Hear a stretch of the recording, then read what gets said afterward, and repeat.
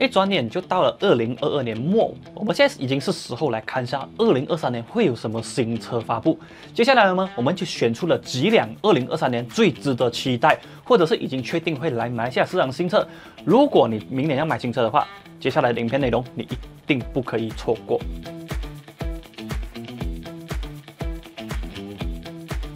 第一辆要讲到的新车就是 Proton 的这个 S 九四。其实这辆车理论上应该是在二零二二年发布了，但是二零二二年发生了太多的事情，例如说因为这个疫情影响，导致全球汽车零件短缺等等的问题，导致这款车一直延期到了二零二三年。但是我们基本上可以肯定，二零二三年的第一个季度或者是上半年，我们就会看到这款车。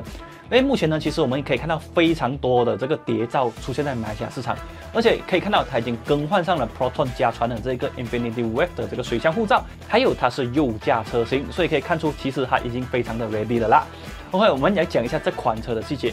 其实这款车在中国是叫做这个吉利的豪越，它是一款五加二座的这个七人座 SUV。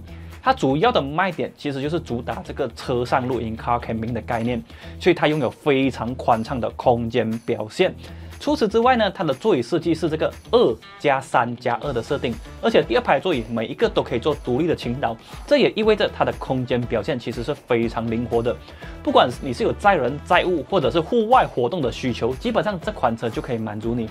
这也是之前 Proton 其他的车款所做不到的。嗯，Exora 好像做得到啦，不过 Exora 有点老啊。在引擎动力配置的部分呢，其实没有什么惊喜啦。它采用的应该就会是这个1.5公升的涡轮增压引擎，最大马力表现是174 HP，峰值扭力表现255牛顿米，匹配七速的这一个湿式双离合器变速箱，应该不会有 All-Wheel Drive 的版本，主要是前轮驱动。除此之外，根据我们得到的消息，这款车可能会是 Proton 第一款采用混合动力配置的车款，它匹配的是 48V 的轻度混合动力系统，最大马力可以提升到190 HP。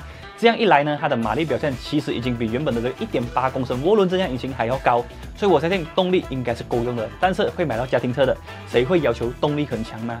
对不对？其实主要就是给你一个很流畅的驾驶过程就足够了。OK，接下来再重复一下，这款车预计会在二零二三年的上半年发布。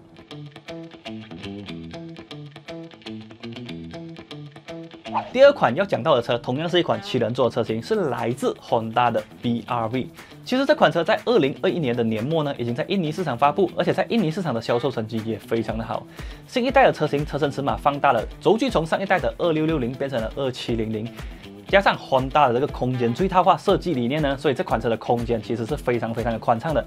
和刚才提到的 Proton S90 一样呢，这款车其实也是主打一个车内露营的概念，所以它的座椅倾倒是非常的灵活，载人载物都没有问题。所以在内装的部分，因为这个车的定位并不高，所以它的设计可能比较朴素一点，但是基本上应该要有的功能它都有，例如讲这个 Android Auto 跟 Apple CarPlay，还有 Honda Sensing 都可以在这辆车上面看到。作为家庭车，安全配备是最重要的。所以它拥有接近完整的 Honda 先进安全配备，加上六个气囊，最重要是它有 ACC。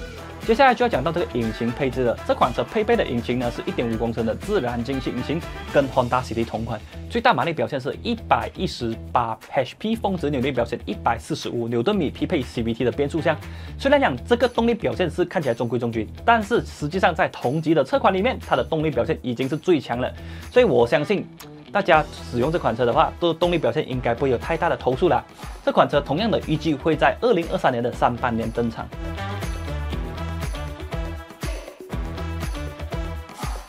接下来要讲的第三款车是来自韩国的现代，就是 Creta。这款车其实是为了东南亚。印度还有这个南美市场开发的 B segment SUV，它的车身尺码非常接近 HRV，但是呢，它采用了 Hyundai 新一代的家族设计，看起来有点像 Hyundai Tucson。这个整体的外观设计，我觉得是非常好看的。另外呢，它的内装设计，看照片的话，其实也非常的有质感啊。整个内装设计的层次感很分明，而且还有氛围灯，这一点真的是增色不少。不过呢，这款车的空间表现，我相信应该是中规中矩的，就是 B segment 的水准。我不过呢，我相信会买 SUV，尤其是买到 V 什么 SUV 的朋友，对于空间的表现应该不会有太大的需求。毕竟如果要更大的空间，可能买 MPV 或者直接升级去 C 什么 SUV 会更好。不过这款车的外观设计来讲，我个人是喜欢的。你觉得这个 Creta 的外观设计你会给多少分呢？可以在影片的下方留言。在引擎配置的部分呢，这款车在印尼市场搭载的是一具1.5公升的 SmartStream 自然进气引擎，最大马力表现是113 HP，峰值扭力表现144牛顿米，匹配 CVT 的变速箱。不过这个 CVT 有点特别啦，因为一般的 CVT 采用的是钢带，它采用的是钢链，所以整个驾驶起来的感觉其实会有一点点的不一样。如果有开过新一代 Hyundai 车子的朋友，应该都会明白我在讲什么。而根据这个 3W 公布的预告呢，这款车会在明年引进马来西亚市场，因为同样是采用1.5工程自然进气引擎的关系呢，所以我预计它的价格应该会在这个 Honda HR-V 1.5X 版本附近啦，就是可能会稍微贵一点点，因为配置更高一点点。我们接下来就看一下 Hyundai 会不会给我们惊喜，会不会让这款车 CKD 呢？CKD 的话，明年的 B segment SUV 市场就精彩了。第四款会在二零二三年发布的重量级新车就是 PRODU 的全新一代 RZR，代号 D74A，但是手牌有另外一个代号啦。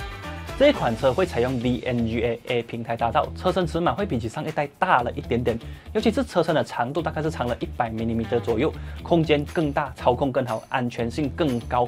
不过在引擎的配置还是会维持这个一点零公升的自然进气引擎，还有这个 DCVT 的变速箱。除此之外，安全配备也会有一点点升级啦。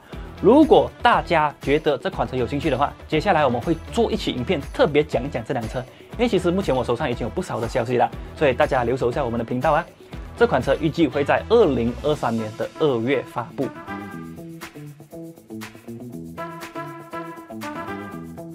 最后款车要讲到的就是大家期待已久的全新一代 Toyota Vios。